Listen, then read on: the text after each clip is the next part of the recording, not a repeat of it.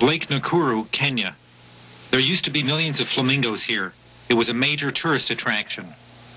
Now it is virtually deserted of both birds and tourists. Some believe the decline in the flamingos is due to DDT and dieldrin found in the waters of Nakuru. EPA banned all crop uses for DDT in 1972 and for dieldrin in 1974.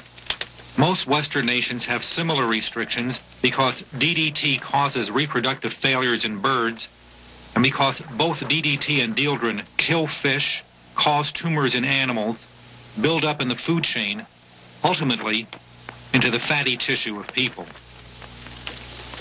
DDT is produced by Montrose Chemical in America, by other firms in France, Spain, and Italy. Dieldrin is made by Shell in Britain. Uh, DDT 25% is an insecticide. A farm supply store near Lake Nakuru. Pesticide sold without restriction. Uh,